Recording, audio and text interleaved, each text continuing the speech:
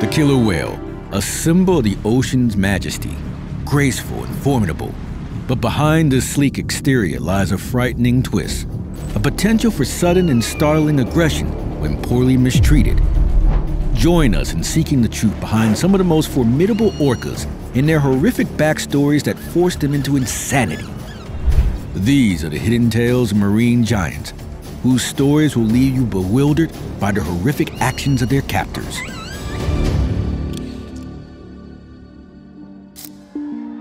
The tale of Kandu was far from the happy image sold to the public. Fans cheered for her spectacular tricks, not knowing the misery she faced behind the scenes. Her distress came to a head in a chilling incident that unfolded in front of a live audience.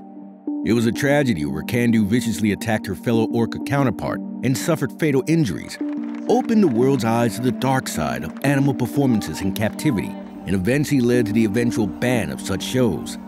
This is the tale of Kandu, the beloved orca whose life was tragically cut short in a feat for human entertainment. Kandu was captured in the late 1970s in Iceland, a place well known for its rich marine life and breathtaking landscapes, standing as a prime location for orca sightings in its abundance of salmon. It all began during a time when there was a growing interest in orcas, so marine parks were increasingly seeking to acquire these amazing animals for public display. Kandu was captured on October 10, 1977, at approximately three years of age. Like many other orcas of her time, Kandu's capture involved a controversial and harrowing process. Orcas are highly intelligent and social creatures, and capturing them is no easy task. A team of experts first had to locate a suitable orca pod. Pods are tight-knit family groups, and separating a young orca from its pod was the first step. These pods were usually identified by air surveillance. Once the pod was located, boats were sent out to surround the orcas in a process known as a roundup. The boats gradually led the pod into a smaller area where the separation began. Orcas like Kandu are taken while still young, and the process of separating them from their mothers is very traumatic for the calf. After forcing the orcas into a small area, the boats placed nets in the targeted areas of the water. The nets were positioned in such a way that the young orcas would be separated from the rest of their pod. Once the young orca was separated, it was gently put into a net that was lowered into the water. This container was then lifted onto a boat, and the orca was transported to a new destination. The name Kandu carries a special significance, and it reflects the cultural importance of orcas in indigenous communities. It was chosen by her captors as a way of acknowledging the indigenous communities of the Salish region, but the Salish people and other indigenous groups in the area orcas hold a prominent place in their culture and mythology. Before Kandu ended up at SeaWorld, she was bumped around to a few other marine parks. Kandu was initially transported to Marine World Africa, USA, located in Vallejo, California. At this park, she was trained and showcased as a performing orca. This was a popular marine park at the time before relocating to Vallejo, California. After spending some time at Marine World, Kandu was transferred to Six Flags over Georgia, where she continued to perform and entertain park visitors. She also had a brief stay at the Ontario Place Marina in Toronto, Canada. This wasn't only characteristical for Kandu. During this era, orcas were frequently moved between marine parks, performing at different locations across North America. These moves were a part of a business arrangement among the parks, Kandu's journey eventually led her to SeaWorld, one of the most well-known marine life entertainment parks in the world. She arrived at SeaWorld San Diego in California in the 70s, where she spent a significant part of her life as one of the park's star attractions. At SeaWorld, Kandu became a beloved figure for many visitors. She was known for her remarkable performances and a strong bond she formed with her trainers. Kandu was a young and energetic orca, which made her an ideal candidate for the park's shows and entertainment. From the moment she arrived, her energy made her a beloved figure at the park. This orca was known for forming close relationships with her trainers. The bonds young orcas form with trainers are essential for their training and safety during performances. These trainers spent countless hours with them, bonding and teaching various tricks and commands. These close interactions help to create trust and mutual understanding between orcas and their human companions. Kandu adapted easily and liked her trainers, so learning tricks and performing was a piece of cake. She was a star that wowed audiences with her agility, speed, and intelligence. Her performances often consisted of impressive jumps, flips, and synchronized movements with other orcas. In addition to her entertainment, Kandu also played a role in educating the public about orcas and marine life. Her shows were designed to teach people about the beauty and complexity of these creatures and help raise awareness about the importance of ocean conservation and the need to protect marine ecosystems. Kandu's life at SeaWorld was marked by several significant events, one of which was the birth of her first calf. This event brought both joy and challenges to her life in captivity. In 1986, Kandu gave birth to her first calf after she became pregnant with a male named Winston. Sadly, the calf was stillborn on January 31, 1986. The loss of her first calf was a heart-wrenching experience for Kandu and the SeaWorld staff who had been eagerly anticipating his arrival. But she continued to work and was introduced a year later to a male and female orca, Orky 2 and Corky 2, who were moved to San Diego. She soon became pregnant for the second time, and her daughter was named Orkid, after her father who had passed away just after her birth. Ultimately, it was just Kandu, Orkid, and Corky left at the park, and this is when the problems began. Kandu started behaving dominantly the moment she met Corky, and started having even more problems after Corky became close to Orkid. She even snapped at the trainers multiple times during training and performances, but was still put out as an attraction. This is not a typical behavior for orcas, as they all become close in the pods, but Kandu didn't know that, and she was very protective of her daughter, but still, they were kept together in the same tank. On August 21, 1989, a tragic incident unfolded at SeaWorld San Diego, leaving a lasting impact on both the park and those who witnessed the events, and many people did witness it. On that day, Kandu was participating in a Shamu show, one of SeaWorld's signature killer whale performances. She was performing alongside Corky. The audience was watching as they showed their abilities in the water. During the performance, Kandu was in one of the side pools, while Corky was the main attraction in the central show pool. Kandu was already outraged before that and very protective of her baby. As the show progressed, Kandu became increasingly agitated, especially when Corky approached Orkid. In response, Kandu tried to assert her dominance over Corky through a behavior known as racking. Racking is a common practice among captive orcas and is a way of showing dominance by forcefully scratching at one another with their teeth. But Corky was a larger and older orca. Kandu weighed 4,600 pounds at that point, while Corky was around 7,000 pounds. Kandu lunged and tragically missed her target and hit a wall, resulting in a catastrophic injury. The impact fractured Kandu's upper jaw and severed an artery. This led to massive bleeding, including the spouting of blood from Kandu's blowhole. SeaWorld staff quickly realized the severity of the situation and asked the spectators to leave the stadium. Kandu was immediately moved to a back pool where she was accompanied by Orkid. Despite the quick response from SeaWorld staff, Kandu's injuries were too severe to save her. They led to a massive hemorrhage, and Kandu's life was slipping away.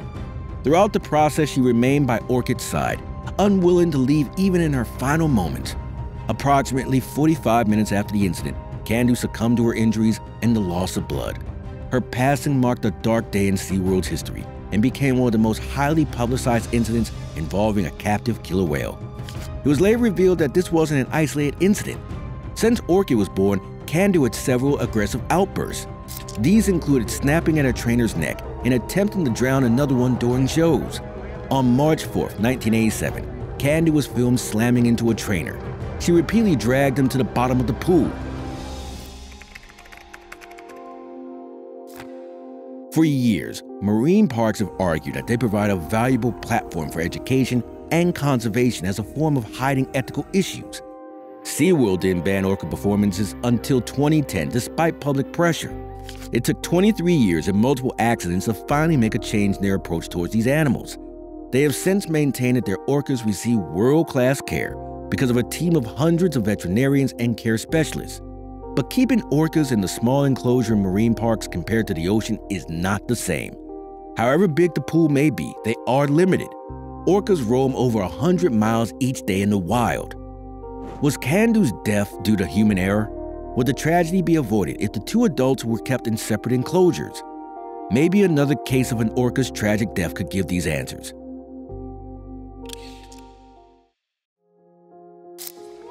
It's common knowledge that Hollywood is full of fake stories, overactive imaginations, and made up fictional personas.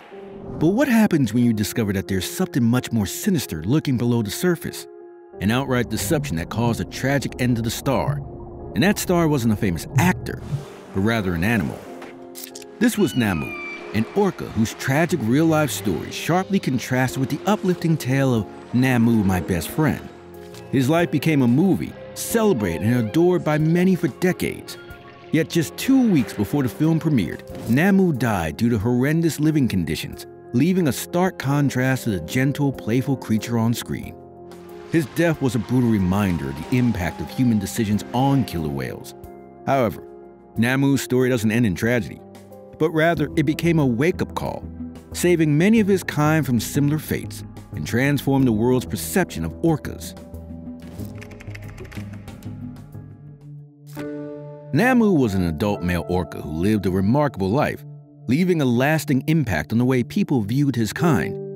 His story began in the waters of the Pacific Northwest in 1965, where he was born as a member of the C1 pod of the Northern Resident Community, a well-known Northern Resident orca pod in British Columbia. A few months after his birth, Namu's life took an unexpected turn. He was discovered entangled in a 22-foot salmon net near Namu, British Columbia, by a fisherman named William Lechkobit. This accidental encounter led to a life-altering change. Namu the orca was subsequently sold to Ted Griffin, the owner of the Seattle Marine Aquarium, for $8,000. Griffin saw potential in this magnificent creature and decided to bring him to Seattle, a journey that took Namu 450 miles south of where he was. Ted Griffin's first encounter with Namu was astonishing. As Griffin approached the sea pen assembled for Namu's transport to Seattle, he saw the massive orca looming just four feet away. It was a moment that would define their bond. Namu made his presence known with a loud squeak, and Griffin responded with an and in less than a second, Namu echoed back with a squeak of his own. The connection was immediate. It was a costly endeavor, but Namu's presence would soon prove to be worth it to Ted. When Namu finally arrived in Seattle on July 28, 1965, Griffin was greeted as a hero and even received a key to the city. In captivity, Namu's daily diet consisted of 400 pounds of salmon each day. He quickly became a star attraction at the Seattle Marine Aquarium, drawing crowds of fascinated people eager to witness this remarkable creature up close. The word of Namu's arrival spread like wildfire. People wanting to see him caused traffic jams for miles near Deception Pass Bridge. Namu was basically the first orca to perform in public. As time passed, Griffin saw that Namu needed a friend, so he brought a female orca named Shamu to be his companion. Shamu would later gain her own fame at SeaWorld in San Diego. Namu and Shamu's relationship in captivity brought even more attention to these incredible animals. In the weeks that followed, Namu became a sensation in Seattle. Thousands paid to catch a glimpse of the killer whale at Griffin's Seattle Marine Aquarium at Pier 56. The city was in the midst of Namu fever, and the craze didn't stop there. Around the world, people were captivated by the idea of killer whales as performing attractions, which led to a surge in the capture of killer whales from Puget Sound, the primary source of supply for orcas. Over a decade, from the mid 1960s to 1976, approximately 270 orcas were captured, with Puget Sound serving as a central hunting ground. Namu's extraordinary life didn't just capture the attention of only those who visited the Seattle Marine Aquarium, it also attracted Hollywood. In a turn of events that seemed almost like a script from a movie itself, Namu became the star of a Hollywood production that left a lasting impact on the way people perceive killer whales. It all began when Ted Griffin recognized the potential for Namu to be more than just an aquarium exhibit. Namu's presence and the ability to perform with humans in the water made him a unique and charismatic figure. Soon, he caught the eye of Hollywood producers. In the mid 1960s, the film industry was eager for new stories and fresh perspectives. Namu's life was seen as a unique opportunity to change the public's perception of killer whales. Until then, these animals had often been portrayed as vicious killers, similar to mindless and ruthless predators like sharks. However, Namu the killer whale aimed to change that narrative The film was released in 1966 and offered a heartwarming and idolized story of a man and a heroic killer whale. While the film may have had its share of sentimentality, it played a significant role in shifting public perceptions of killer whales. The film starred Robert Lansing as Hank, a marine biologist determined to protect Namu from a group of small town fishermen who feared the orca was ruining their salmon stocks and posed a threat to their community. Lansing's character attempted to fight the fear of orcas with scientific knowledge, highlighting that their relative brain size was larger than that of humans. It's a story about a marine biologist named Hank Donner. Hank was out camping in the Pacific Northwest, studying the underwater creatures that called those waters home. One day, as Hank and his local assistant were watching a group of gray whales swim by, something terrible happened. They saw two fishermen shooting at a bunch of orcas. One of them got injured and ended up on the shore, where she sadly passed away. Her mate, on the other hand, stuck around, mourning her loss. Hank wouldn't stand for the hunting of the second orca, and he managed to set up a net barrier to keep the cove safe. This male killer whale became the star, and they named him Namu after a song in the movie. The locals, except for one lady named Kate and her daughter, didn't trust Hank. As Hank watched over Namu, he started to play with him, as time went on, some of the local kids came to the cove and they started feeding Namu. One day, a boy stuck a sharp hook into a piece of fish and gave it to Namu, which made him go wild. The whole town got wind of what happened, and they decided it was time to take matters into their own hands. They marched down to the cove, armed and ready to kill Namu.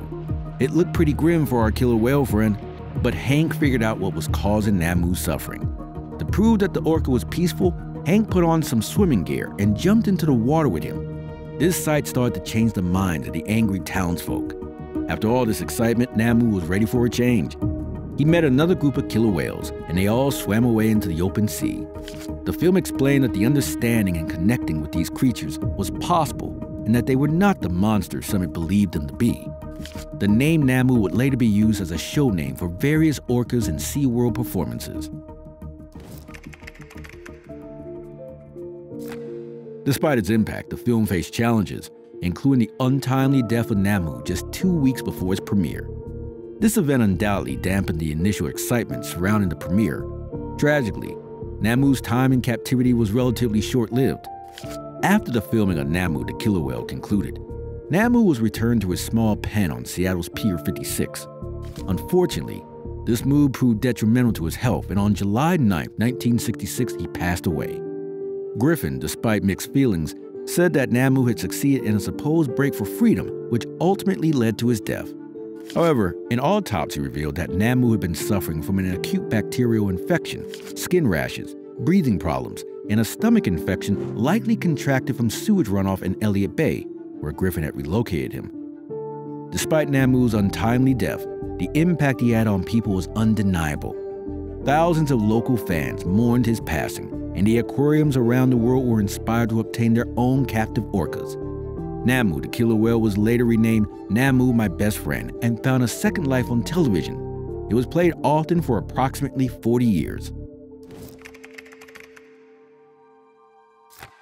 For centuries, the native people of the Pacific Northwest revered orcas, seeing them as family members and respected creatures of the sea.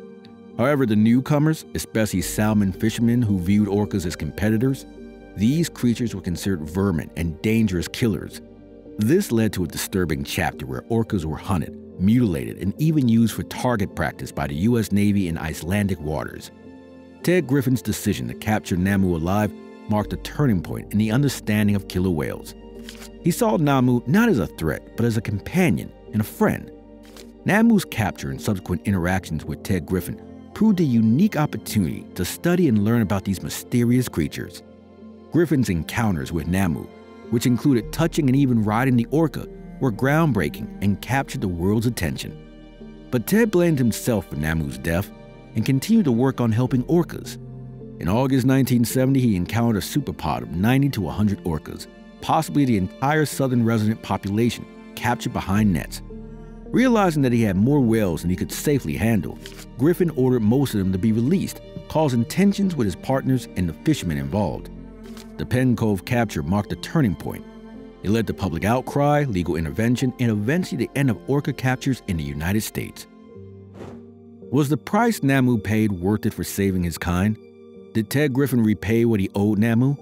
He supposedly loved him, but the animal died due to human error and a greed for entertainment.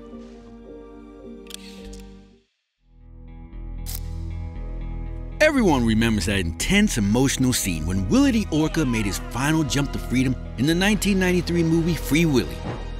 However, the applause and excitement soon turned to horror when fans worldwide discovered how the real Willy, aka Keiko the killer whale, was living in captivity.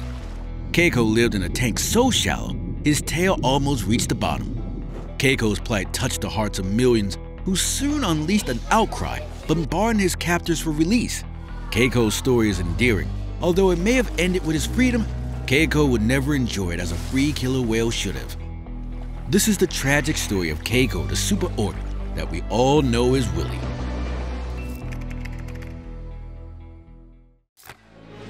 Keiko was captured when he was just a toddler. He was born in the wild off the coast of Iceland around September 24, 1976.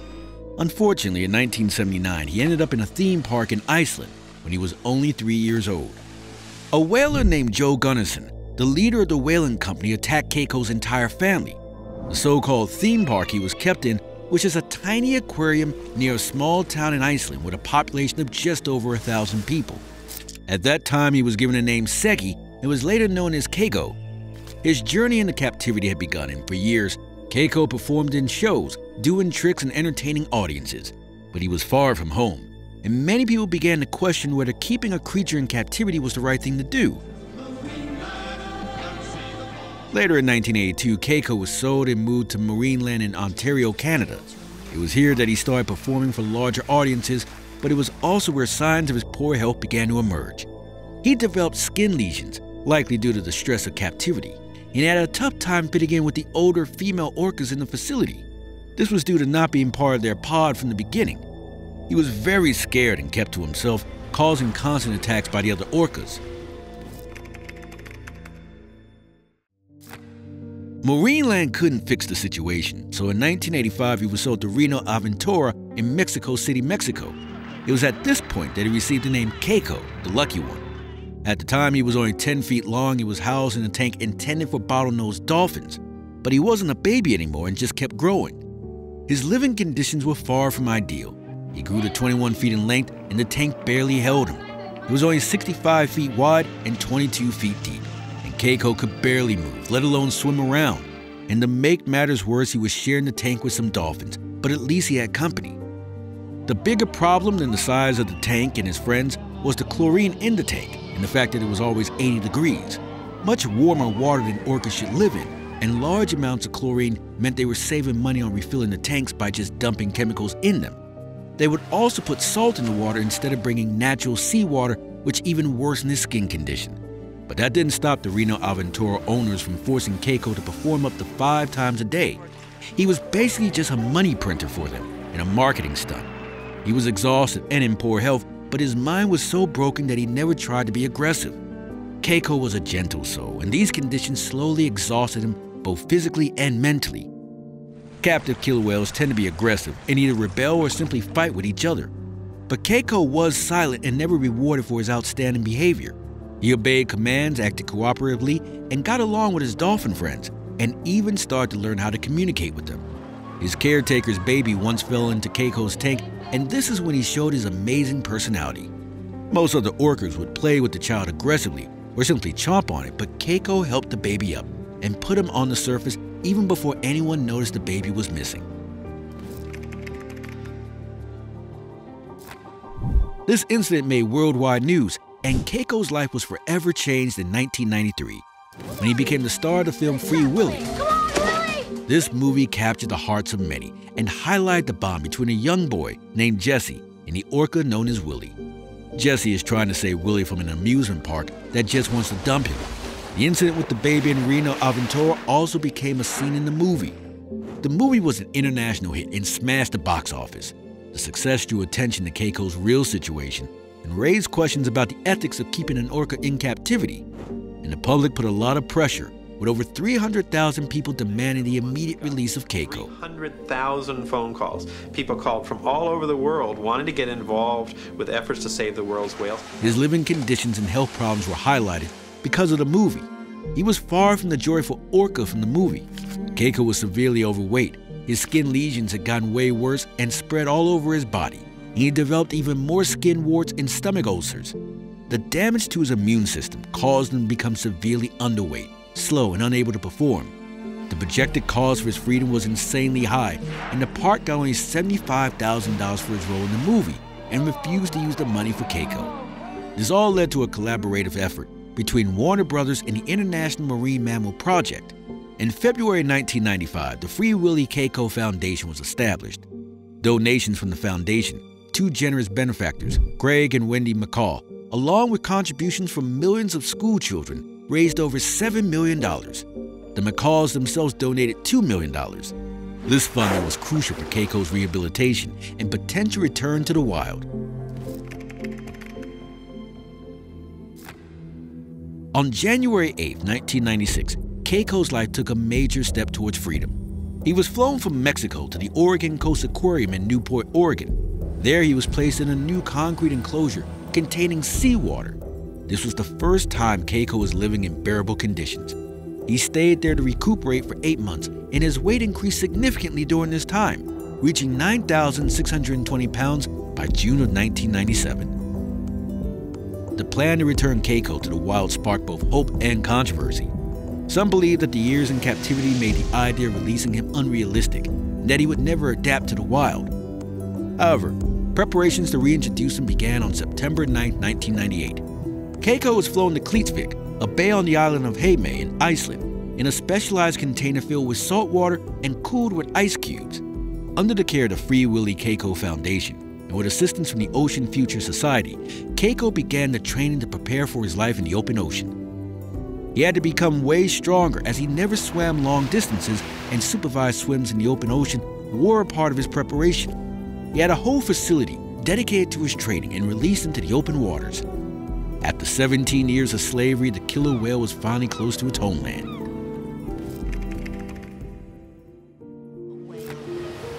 The moment everyone had been waiting for finally arrived in the summer of 2002. Keiko was released into the open ocean off the coast of Iceland. It was a historic event as he became the first captive orca to be returned to the wild. He initially began swimming freely in the Icelandic waters and was spotted in the bay for days. However, Keiko's transition to a complete wildlife was not without its challenges. He continued to receive support from his caretakers, including food supplements, as he adjusted to hunting for his own meals. He also had a satellite transmitter attached to monitor his progress and location. In the following years, he was closely monitored and led on walks where he would interact with other orcas, and slowly but surely, he began to become a part of the pod and swim with other orcas for longer periods of time. But Keiko still stayed close to the bay and its people. Sadly, Keiko was alone and looked for company with the people because he kept the love towards them. This is why he would often approach both children and adults and allow them to pet him. Although he occasionally approached groups of wild orcas, he remained on the periphery and did not integrate with them. Because he often sought out the company of humans instead of his own kind, people started raising concerns about his ability to adapt to life in the wild.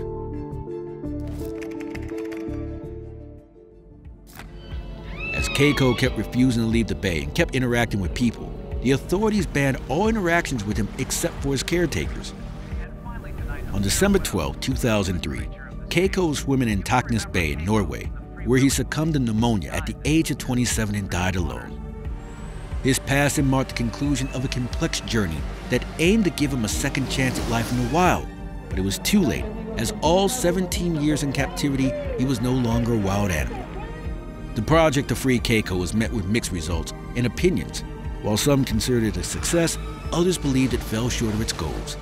Keiko's hard time to fully adapt to life in the wild raised questions about the challenges of reintroducing captive animals to their natural habitats.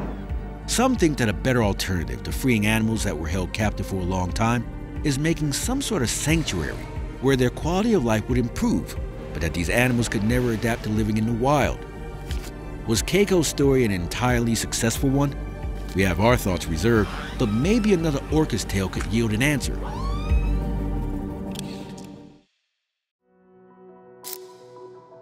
Freedom for a killer whale in captivity is among the sweetest gifts in the world. That's what Lolita sensed when she retired from performing at the Seaquarium in Miami. The world's oldest captive orca lived for 57 years in a small tank at Seaquarium, but now the world wanted her freed. For some years now, Lolita has been miserable. She lost her mate, her beloved Hugo, and with him no more, Lolita was hanging on the edge. She had no children and could no longer come to terms. But suddenly, in 2022, it was decided that Lolita had earned her freedom. She was to be transferred to a massive whale sanctuary, but that day would never come, and Lolita would never see the open ocean again. In August of 2023, the alien orca passed away. This is the story of Lolita, a dark tale of an elderly orca who lived to be among the loneliest in captivity.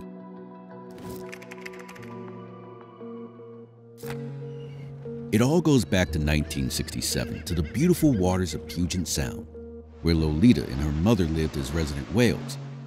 Puget Sound might look like an ocean paradise, but it was also the happy hunting grounds of the orca boogeyman, Ted Griffin. Griffin was a notorious poacher skilled in capturing and selling juvenile orcas to aquariums in Europe and the US. Lolita was only six years old when Griffin and his team captured her, along with several other juvenile whales after Griffin herded them into Penn Cove, Whidbey Island. Whale captures are bloody affairs, often ending in the death of orcas, especially the mothers fighting to protect their babies. Lolita's capture was no better.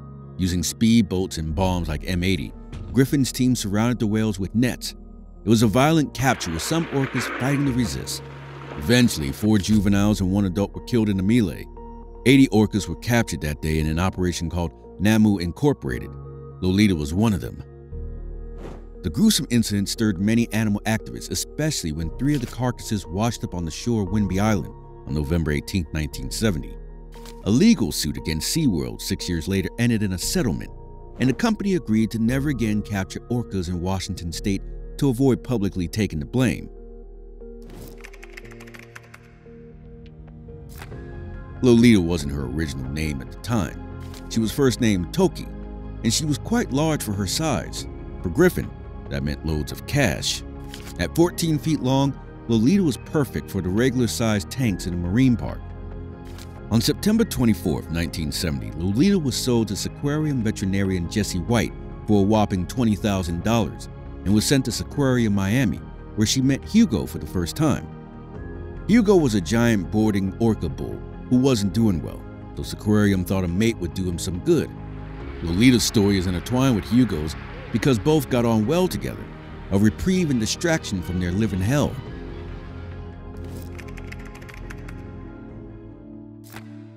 Hugo's story was no less tragic than Lolita's. Captured in 1968 in equally violent circumstances, Hugo was packed off to the aquarium where he lived in a pen a little bigger than himself.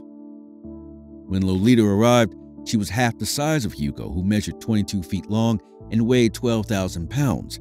Hugo detested his captivity and often rebelled against trainers and refused food, frequently showed aggression, and often tried to harm himself by bashing his head against the wall of the tank.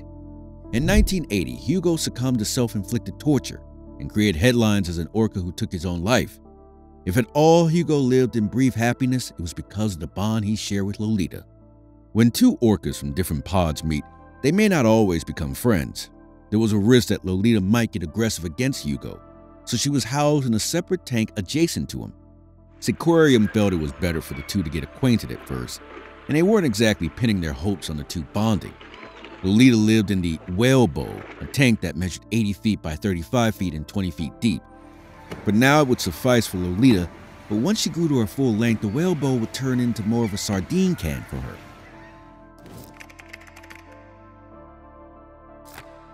It was a huge surprise when Lolita and Hugo began bonding within a few days. Soon, trainers began hearing wails and sounds, a sign that the two orcas were communicating. Both Lolita and Hugo began calling out to each other every night, perhaps from a perspective of solidarity. Somehow, the orcas might have just realized how they were in the same predicament and were consoling each other. One reminded the other of their family and friends free in the ocean. For the next 10 years, Hugo and Lolita became the best of friends. In fact, Lolita might have just been the solace that a depressive Hugo needed. The duo trained together and even performed together. But to say they were happy would not be entirely accurate. After all, both were in a prison. They were far away from the sights and sounds of the ocean, and if you think they enjoyed their performances, you have another thing coming. You see, performing orcas have no option but to obey the cues and commands of a trainer during a performance. They've been trained to do so, and not always is the training ideal for a monstrous sized animal like a killer whale. Hugo had lived in Seaquarium much before Lolita, so he turned out to be a depressive, suicidal animal. When Lolita arrived, the first few weeks may not have been so bad. With Hugo by her side, she might have thought, okay, let's get used to it. I have a friend. It would be all right. Until, of course, training began. Training a large killer whale goes one of two ways obey and get rewarded, or disobey and get punished. An uncooperative killer whale was often prodded and deprived of food. Punishments sometimes extend to depriving an entire team of orcas for the fault of one. This bizarre method would result in the battering and bullying of the guilty orca, but it was a guilty form of coercion that marine parks used all the time. While Hugo remained rebellious, Lolita proved more cooperative. Perhaps it was the presence of Hugo that helped Lolita forget about her depression. In fact, she might have even looked forward to performing with Hugo. The thought of jumping out of the water, swimming at high speeds, and performing tricks might have given a brief reprieve to her captivity. It might have even forget that she was in a tank, but instead in the ocean with her mate by her side. Lolita was considered a courageous and gentle animal. She even showered affection on some of her trainers and throughout her existence did not even once attack a human. The same cannot be said for other famous killer whales in captivity. Hugo, Tilikum, and Kasatka are names that will go down in history as examples of why such magnificent beasts belong in the ocean. In his lifetime, Tilikum killed three people, and Kasatka had attacked many. No, it was never their fault. The same could not be said for Lolita, she was the sweetest and often showed affection to humans. On March 3, 1980, Lolita's Hugo was no more. The orca's constant self-battering finally took its toll, and he finally succumbed to a major brain aneurysm. Experts attributed his behavior to suicidal psychosis, often seen in captive whales. The death of Hugo made several animal rights groups, including PETA, sit up and take notice. Hugo's demise gave birth to the rise of Friends of Lolita, the movement was born and kept up its momentum for three decades. Lolita just had to be freed. With her precious Hugo gone, Lolita sank into a depression. Her trainers noticed a marked change in her behavior. She ate less and no longer showed the same enthusiasm. After Hugo's death, Lolita shared her tank with a short-beaked common dolphin and a pilot whale. However, there was no consultation for Lolita, who missed Hugo terribly. Lolita kept on performing for Seaquarium until 2021 when new hope dawned for her eventual release. Seaquarium was purchased by the Dolphin Company, and simultaneously an order was passed by the United States Department of Agriculture, USDA, prohibiting Lolita and her dolphin companions from public displays and stage shows.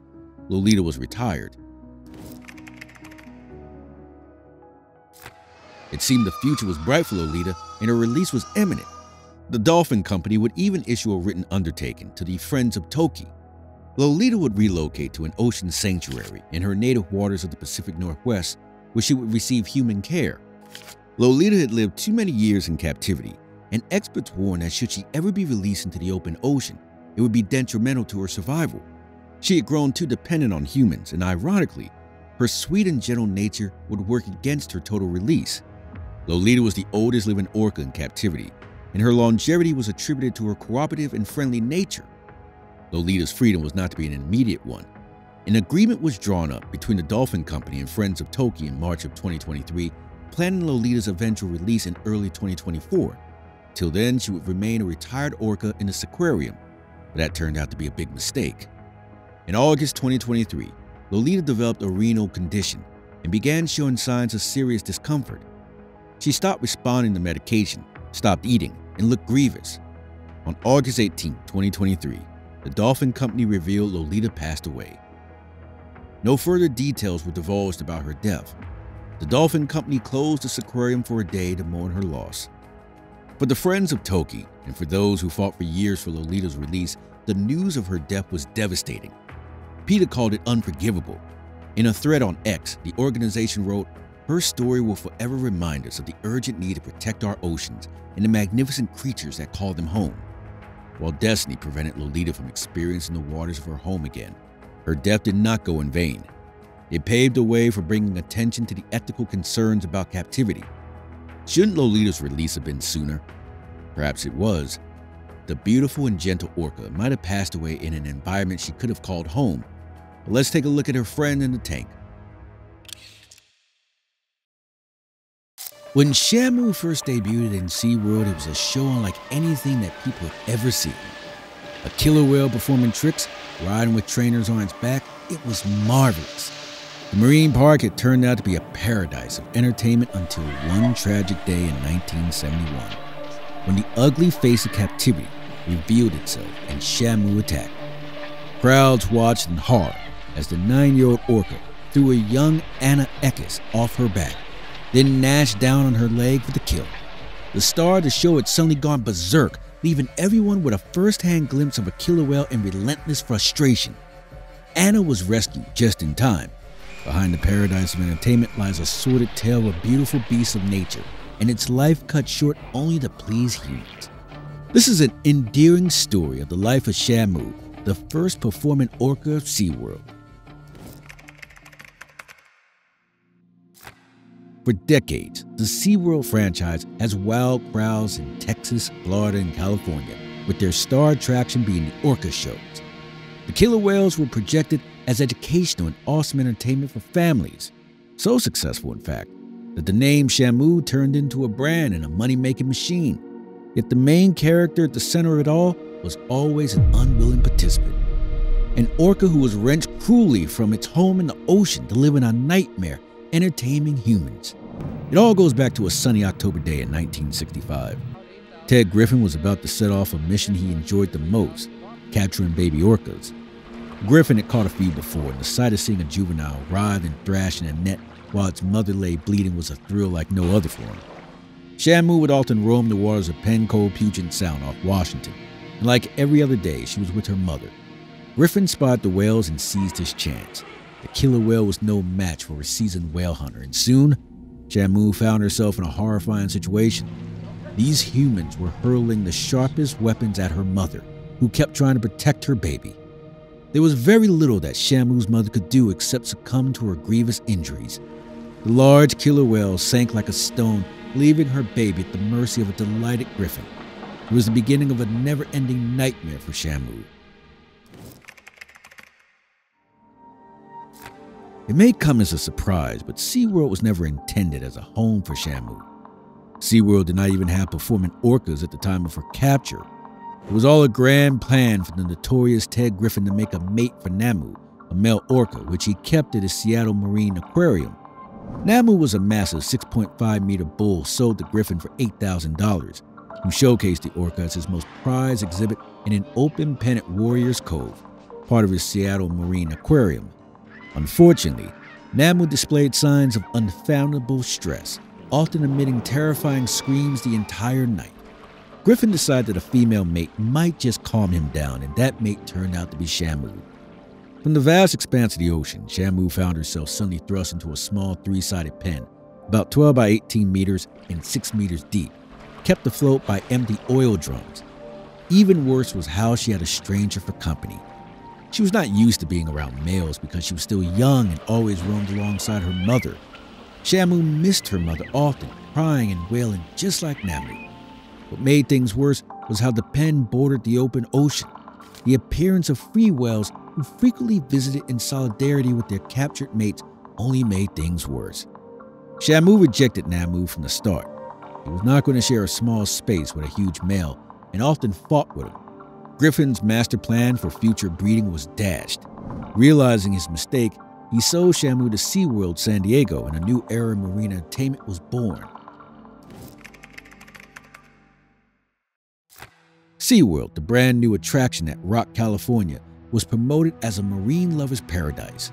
Founded in 1964, it encompassed all 22 acres along the shores of Mission Bay and became a resounding success within a few days of its inauguration.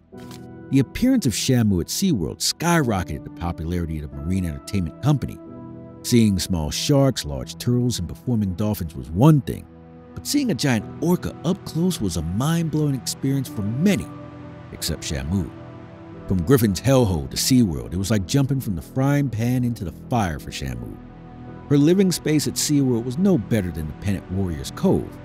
This was just as small and as claustrophobic. Shamu had now grown to 1,700 feet long, yet the tank she was housed in was just 20 feet by 30 feet. If Shamu stood vertically in the pool, the water would never cover her entire body. It was solitary confinement of the worst kind. From an unwilling mate to a male orca to a performing one at SeaWorld, Shamu's transition was not an easy one. SeaWorld was a completely alien environment. While she loved the water, she loved the feel of being able to swim, roll, and jump in a performing take larger than hers. She was often puzzled why the humans poked, prodded, and forced her to do things she never wanted to. She didn't know how. Training to interact and perform stunts with humans was a nightmare for Shamu. She was scolded if she didn't oblige. She was starved and soon learned to associate cooperation with food. SeaWorld was ecstatic. Shamu became a celebrity. She was featured on billboards, the subject of TV shows, and of course, the crowds. How the groups loved her, and each time she surfaced out of the water with a human standing on the tip of her nose. The group would go berserk and echo and chant, Shamu, Shamu. Everyone was happy. SeaWorld was raking in millions, but everything was not right with Shamu. She was falling into depression. SeaWorld was oblivious to the mental and physical harm to the orca. Instead, the standalone marine park soon opened more franchises in Orlando, Florida, Ohio, and San Antonio, Texas. More parks meant a demand for more orcas, and soon, several more juveniles were captured by men like Griffin and sold to SeaWorld. Shamu performed at SeaWorld for six years, but all was not right with the female orca. She was just nine years old, but already showing signs of distress. SeaWorld shrugged off all concerns, attributing Shamu's actions as normal stress. They failed to recognize how Shamu was reaching a breaking point, and desperation would soon turn to an attack. On April 19, 1971, Gail McLaughlin, SeaWorld's public relations director, and Kent Burgess asked SeaWorld secretary, 22 year old Anna Eckes, if she wanted to ride Shamu. They thought it would be an incredible publicity stunt, showing off how safe killer whale shows could be McLaughlin and Burgess were naive and had no idea such actions could go wrong. Captive killer whales may be trained and obedient, but one thing not taken into consideration is their unpredictability. Moreover, such wild creatures view only trainers as masters, and their cooperation and loyalty are only directed at such individuals. Making them interact with a stranger is just asking for trouble, but it was arranged, and unsuspecting and excited Anna happily agreed. Anna was no novice to water, she was a trained scuba diver and an excellent swimmer. But interacting up close with a killer whale is an entirely different ballgame. Anna was warned before the stunt that it was a risk. Things could go wrong and she could fall off, but not in her wildest dreams did she envision an attack. Anna changed into a diving suit and got into the water with Shamu. Everything appeared normal. Anna followed all her cues and Shamu seemed to cooperate, Soon, Anna got onto the orca's back and raised her hand, smiled, and waved to the crowd. As Shamu began swimming towards the deep end of the pool, disaster struck. One swift stroke, Shamu tossed Anna off, launching her into the water. Driven by instinct, years of depression and trauma, Shamu unleashed her rage on Anna. With her enormous teeth, Shamu grabbed the girl's leg and clamped down. Anna was trapped, and Shamu refused to let go. Anna screamed. She was in shock and could not believe what was happening. Why would Shamu attack her? If Shamu was not closer to the pool's edge, it might have been a terrifying tragedy for SeaWorld. Nonetheless, all the excitement and joy soon turned into horror as the crowd watched the star orca drag Anna Eckes around in her mouth. Fortunately, other trainers sprung into action in attempts to distract the killer whale. By now, the water was turning red with the blood from Anna's ankle. Shamu's teeth were embedded in her flesh and clamped shut like a vice. Soon, one of the trainers had the idea of driving the pool into the orca's mouth, forcibly prying her jaw open. The tactic worked, allowing Anna to break free. Anna was then taken to safety as Shamu swam around in circles in her pool, oblivious to what she had done. The crowd was all shocked and silent, the terror turned into some iconic reprieve for Shamu. Her performing days were over. I was so afraid I was going to drown. And because she would dive and go down, and I didn't know how long she would, you know, be down there. As for Anna Eckes, the girl suffered a horrible deep gash that required 100 stitches. In the same year, Anna sued SeaWorld for fraud, negligence, and liability for an animal with vicious or dangerous propensities. She was awarded $17,500 in damages, and SeaWorld's appeals for a non suit and a new trial were denied. Even though Shamu was retired from performing, her life was worse than ever. The stimulation of performing was denied. She was made to live in her puny little tank, and the trauma took its toll. By the end of 1971, Shamu contracted a severe uterine infection, which did not respond to treatment. Too fragile and ill, she died of septicemia and was just nine years old. In contrast, a free orca in the ocean can live to almost 90 years old, the average being 80. Shamu's death did not mark the end of SeaWorld shows. The marine park has tasted billions and will never pass that up.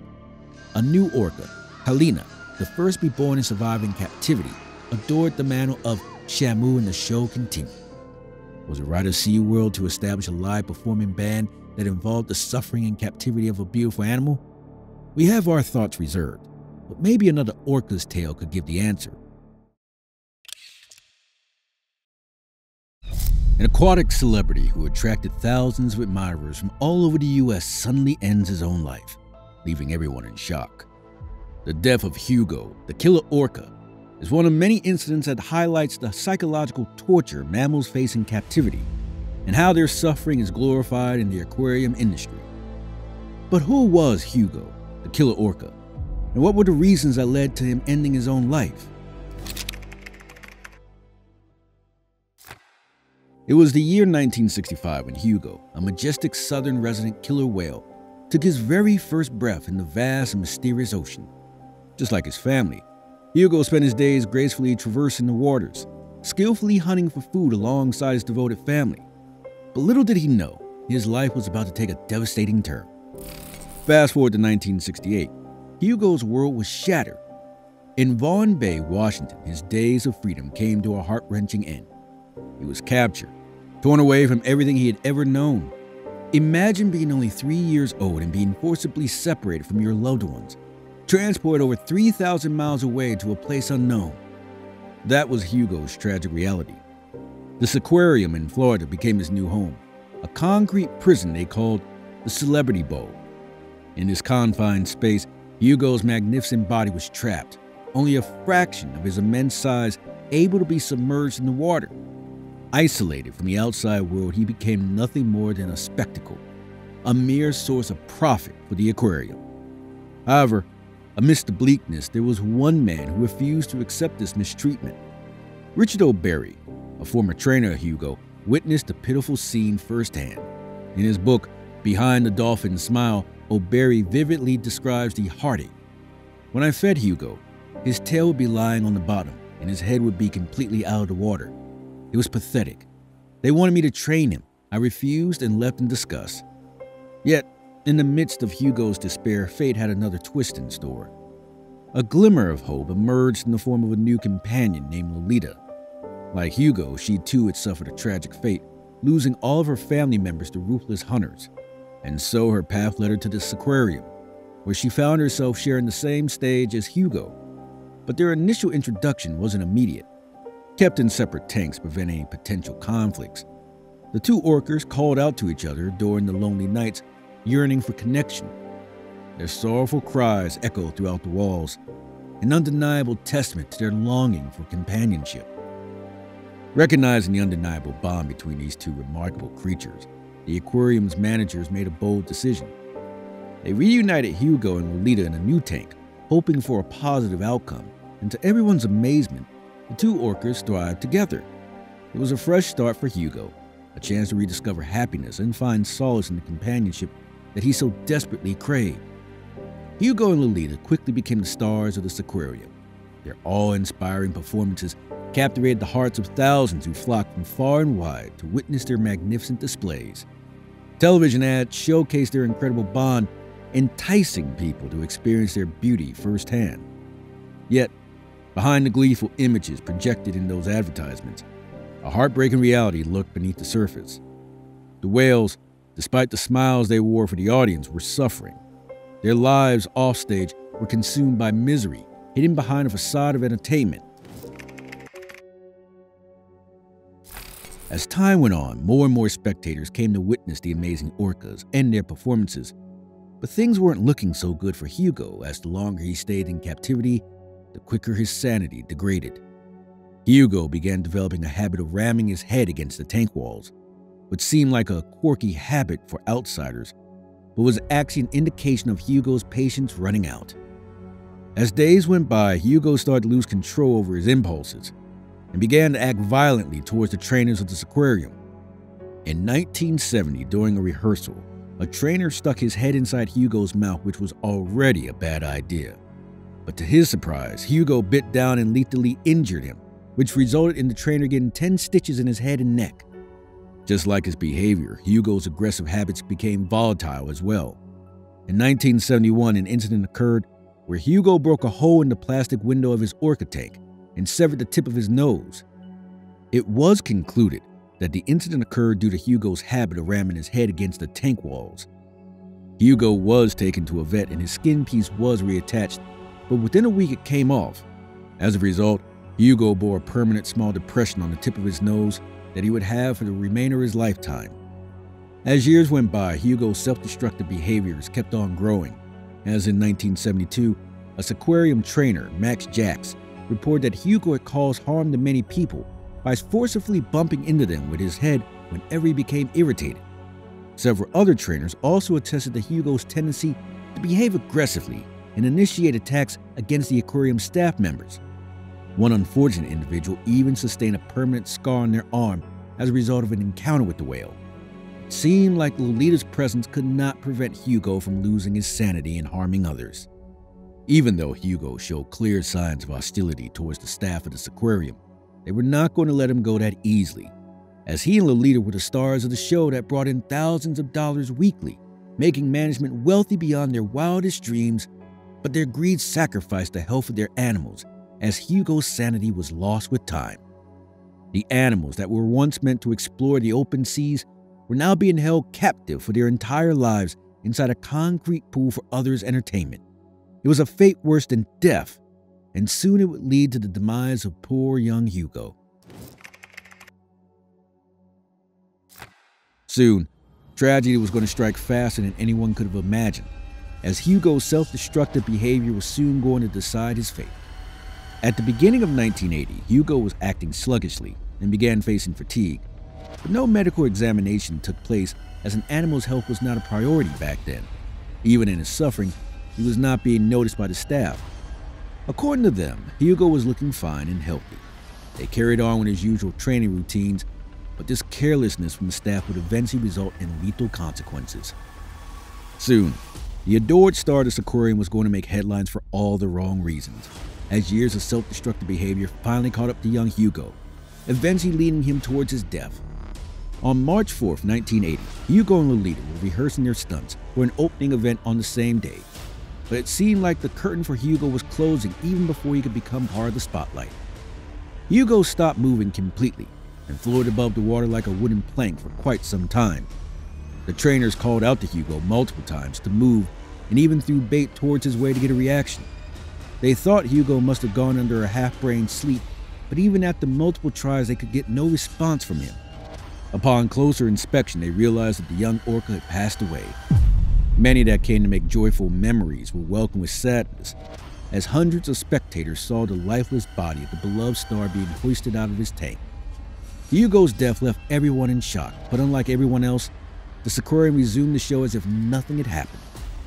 During an autopsy, it was revealed that Hugo died due to brain aneurysm. For some, it was proof that Hugo's death was due to his habit of thrashing against the tank walls. Following his passing, Hugo's body was discreetly disposed of at an undisclosed location. Many claim that the management of the aquarium dumped Hugo's body in a local landfill, but these were mere speculations made by people enraged at the management's mistreatment of the animal. After Hugo's death, Everything went back to normal, and the show carried on without him. Lolita would later do all the performances by herself, entertaining crowds of hundreds that had no idea what the orc was actually feeling deep down inside. For Lolita, Hugo was the only friend she had since her captivity. With him gone, she was once again alone, swimming in circles in a concrete pool with no freedom in sight. Hugo wasn't the only whale to show hostility towards his captors.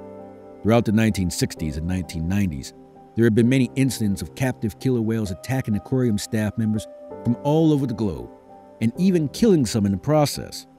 For instance, killer whales like Lupa, Tilikum, and Cuddles all showed a familiar pattern of aggression and rebellion against people while being in captivity. As the trend towards aquarium kept on increasing over the years, so did reports of captive orcas attacking creating a debate among activists about whether or not these behaviors are a result of orcas fighting for their freedom. Rebellious orcas aren't the only issue here, as there have been many reports of young orcas dying due to multiple reasons, but the majority of the cases point towards the lack of facilities that the aquariums had. Many activists have highlighted the fact that aquariums collect aquatic life in large quantities without even assessing their capabilities first. During a USDA audit conducted in 2017, it was discovered that the tank housing Lolita failed to meet the size criteria mandated by federal law, which validated the activists' criticism. By looking into the history of Hugo and Lolita, we wonder will the aquarium ever be held accountable for the mistreatment of animals such as Hugo? Will animals like Lolita ever get the freedom they deserve? We may never know, but remember that there were other orcas that also suffered the same way that Hugo did. On February 24, 2010, tourists at SeaWorld in Orlando were excited thinking they were about to watch an entertaining relationship session between Tilikum, a killer whale, and trainer Dawn Brancheau. Just as Brancheau leaned over the edge of his tank, the 11-ton orca reached up and chomped down on her head instead. What transpired next was a macabre scene of mayhem and carnage as Tilikum dragged Brancheau into the pool, shook her like a rag doll, crushed her bones, and drowned her till she went limp and died. Even as the staff tried netting him, Tilikum savaged her and would not let go of her body. But why? What made the well-trained Tilikum, often described as gentle, go crazy? Dawn Brancheau wasn't the only human to suffer the unpredictability of Tilikum. Ever since the massive orca was captured as a two-year-old calf in 1983, his life turned out tragically wrong. Brancheau was his third victim, and while it may seem puzzling to the people who trained and performed with him, Others felt differently. Animal behavior experts felt it was his bizarre existence that led him to display extremes behavior. Tilikum was a killer whale. He was born in the wild and meant to live in the ocean with his mother, not in an enclosure as an object for human amusement. As Herman Melville, author of Moby Dick, once wrote, There is no folly of the beasts of the earth which is not infinitely outdone by the madness of men. He knew exactly what he was saying. Tilikum was always a rebel, he never took the training kindly, often creating trouble for his fellow orcas. It seemed he was never really tamed, and though the marine entertainment industry tried to pass off the Brancheau incident as an accident and a playful incident gone wrong, several members of the audience felt the killer whale knew exactly what he was doing, and that is enough to creep anyone out. Tilikum was just a young orca when he was captured off the coast of eastern Iceland in 1983. Until the age of three, he was kept at a marine zoo in Iceland, a year later, he was transported to a small aquatic park near Sealand of the Pacific in Victoria, British Columbia, where he performed for eight years. He was transferred to SeaWorld in Orlando, Florida in 1992. Besides being one of the most notorious orcas perhaps in the history of marine world entertainment, Tilikum also sired 21 calves at SeaWorld. Former trainers at Sealand always remembered Tilikum as an orca with a friendly nature, but others beg to differ. There were reports from Sealand that described how Tilikum, from day one, did not fit into the life of a performing orca. He rebelled against training. Watching those orcas perform for you at any marine world might be incredible, but for human entertainment, an orca might just even have had to go without food if he didn't get his routine right in training. As is the custom, new orcas were usually paired with trained killer whales. Unfortunately, if the whale in training does not follow the cues of the trained whales, both animals would be deprived of food, and that's exactly what Tilikum would do. But then, that's when life began getting difficult for him. Other whales, frustrated his behavior, began thrashing him. Tilikum would often be found bloodied, but he would also be found with a bleeding tooth. It was the beginning of hell, and it was probably what installed within Tilikum a type of stress and rage just waiting to burst out. Things went from bad to worse for Tilikum. Sealand was a living nightmare for the 16 foot orca. Of course, by the time he was fully adult size, he would end up weighing a whopping 12,000 pounds and measuring 22 feet long. But even for a 16 foot orca, living in an enclosure of 20 by 30 feet is almost akin to solitary confinement. Sealand was like a small marina surrounded by nets. The owners were always afraid some animal activists would try to free the whales. To prevent this, three orcas, including Tilikum, were confined to a single steel container, and that's when Tilikum would get thrashed every night. And the lights were all turned out. So there's really no stimulation. They're just in this dark metal 20 foot by 30 foot pool. It didn't feel good, and it, it was just wrong.